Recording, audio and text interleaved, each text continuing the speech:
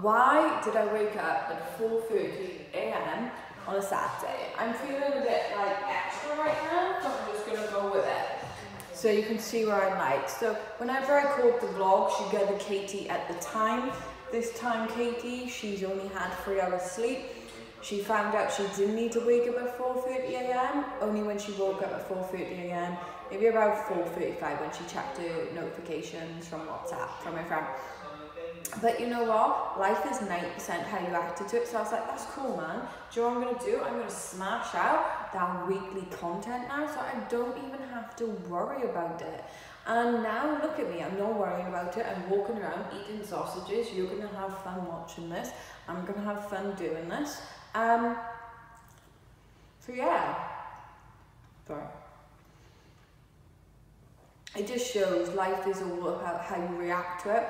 You could easily like be so negative. Like I know how many people would be like fucking 4:30 a.m. or Saturday. I didn't need to do it. And then they like fucking out. They just write off their whole day at that point. Like how fucking sad is that, man? So just to remind you, you don't have to write off your day. You can have fun. You can walk around like literally with like sausages, like and have your breakfast later on and just live your best life. Hope it helps.